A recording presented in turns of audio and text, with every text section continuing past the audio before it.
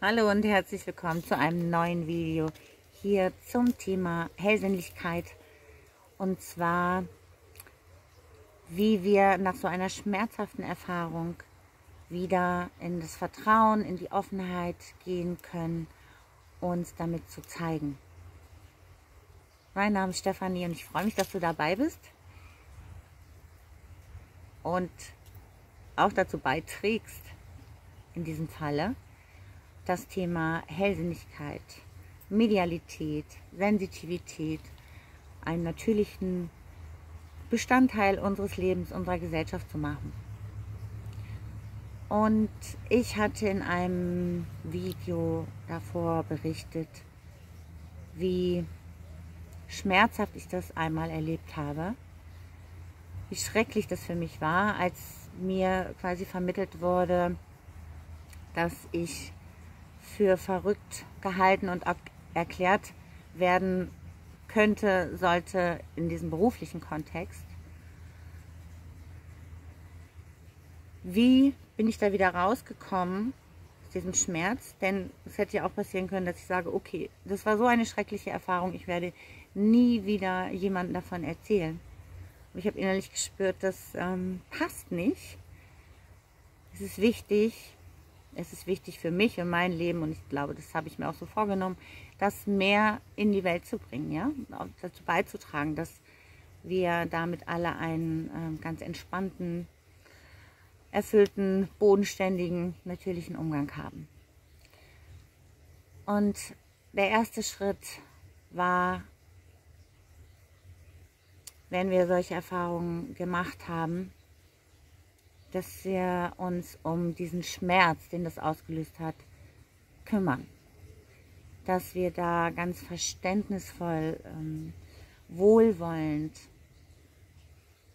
auf uns selbst schauen und schauen, was wir denn brauchen, damit dieser Schmerz verarbeitet werden kann, damit er integriert werden kann und wir daraus wieder etwas heiler, etwas stärker herausgehen können. Und bei mir war das äh, ganz, ganz hilfreich, dass ich mich damals um mein inneres Kind gekümmert habe. Wenn du was mit diesem Konzept anfangen kannst, dass es ein inneres Kind oder jüngere Ichs gibt, die die Sachen erlebt haben, die so schmerzhaft waren, dass sie noch ähm, gespeichert war, sind, waren in unserem System. Und jetzt dazu beitrage, dass dieser Schmerz, der da aufgeploppt ist, endlich in eine Heilung kommt. Und dass ich geguckt habe, was braucht es?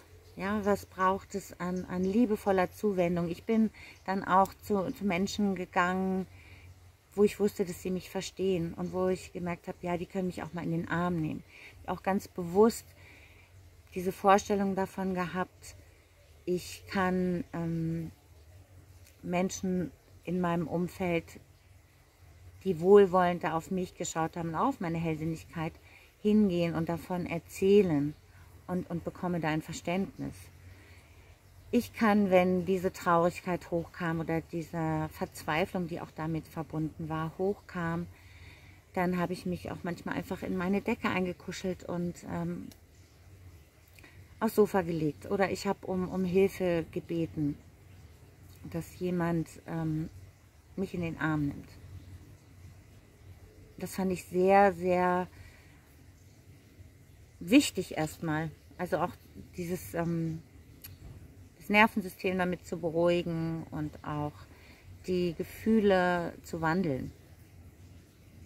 Damals kannte ich auch die Logosynthese noch nicht, die die Gefühle auch so wunderbar wandeln kann. Trotzdem finde ich diesen liebevollen, wohlwollenden Blick so wichtig, ja, auf uns selbst. Und als zweiten Schritt war es unglaublich wichtig, das Gefühl von Vergebung auch mich dem zuzuwenden oder das auch zu aktivieren.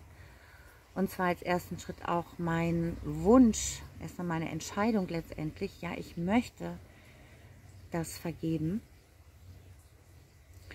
Und dann verschiedene Rituale, Übungen zu machen, um dieses Gefühl von Vergebung zu kommen, auch mir nochmal vorzustellen, ich gehe mit diesen Menschen in Kontakt, ich sage denen nochmal etwas, was ich denen in der aktuellen Situation nicht sagen konnte, was ich vielleicht auch als Kind nicht sagen konnte, wo ich dafür ausgelacht worden bin, dass ich nochmal sage, was mir aber wichtig ist, das auszusprechen. Das fand ich ganz heilsam.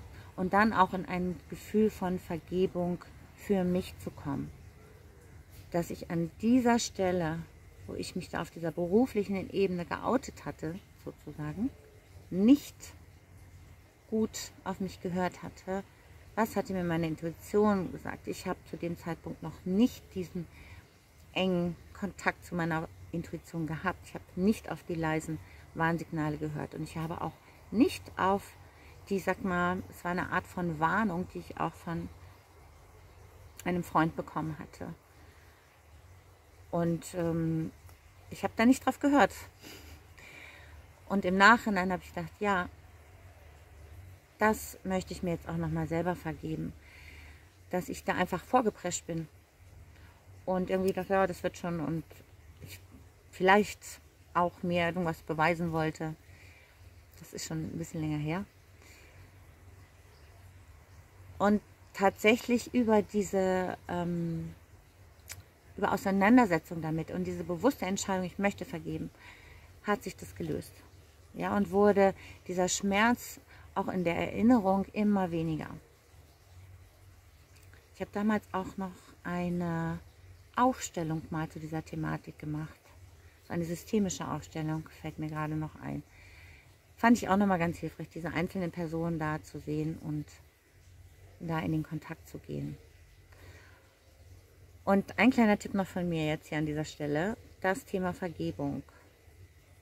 Wenn du auch nicht weißt, wie ich früher, denke so, ich möchte gerne vergeben, aber ich kriege das Gefühl nicht, ich, ich kriege keinen Zugang dazu, dann ist ein super hilfreicher Schritt auch diese Tipping-Methode. Die habe ich in einem Hochsensibel-Podcast mal ein Interview zu gemacht. Ist unglaublich gut, wo es immer darum geht, auch die eigenen Anteile bei so einem Prozess zu betrachten. Und sobald wir da in, in diese Form von Verantwortung kommen und diese eigenen Anteile sehen, fällt es leichter, das Gefühl zur Vergebung, der Vergebung auch tatsächlich zu fühlen und dort weiterzuschreiten. Also Vergebung war der zweite Schritt.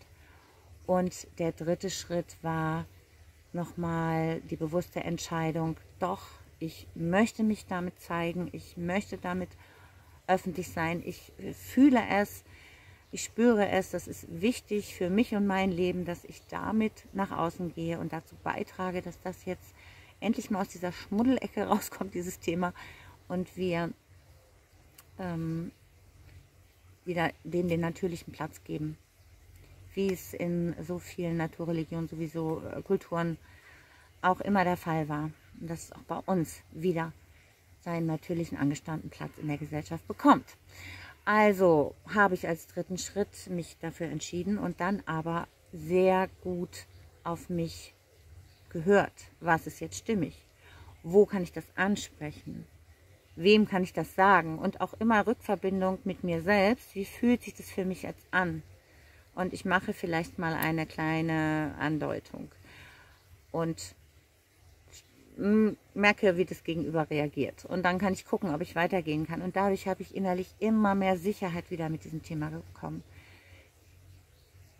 Es ging immer weiter, auch Selbstsicherheit, auch Selbstbewusstsein, das bei jedem Mal natürlich sich gesteigert, sodass ich dann auch irgendwann, weiß ich noch damals, das war auch noch mal ein wichtiger Schritt, wo ich Herzklopfen hatte, auf äh, meinem privaten Facebook-Profil das erste Mal darüber berichtet habe.